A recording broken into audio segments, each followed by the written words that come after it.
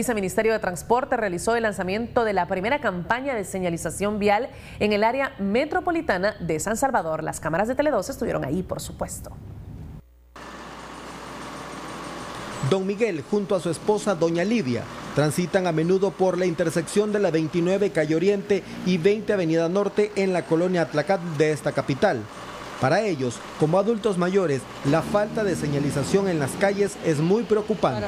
supuestamente esta es una, una, área restringida para el peatón. Por lo tanto, tiene que estar señalizado para que respeten los, los automovilistas, los carros.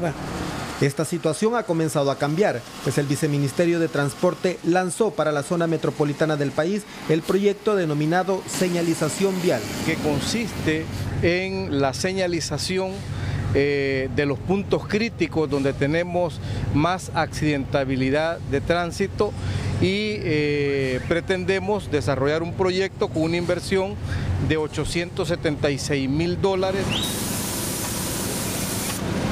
Vamos a poner demarcación de eje preferencial, que es el bordillo amarillo. Vamos a tener eh, flechas direccionales, que son las que le dicen a usted cuál es el sentido de la vía. Eh, doble línea amarilla que le limita los dos sentidos, que le dice tenemos dos sentidos, oriente y poniente, y la zona cebrada, que mejor conocida como, como zona peatonal. Eh, para nosotros es sumamente importante que el conductor sepa eh, dónde tiene un alto, dónde es eh, permitido que él pueda circular y cuáles son los sentidos de las vías, dónde está debidamente marcado.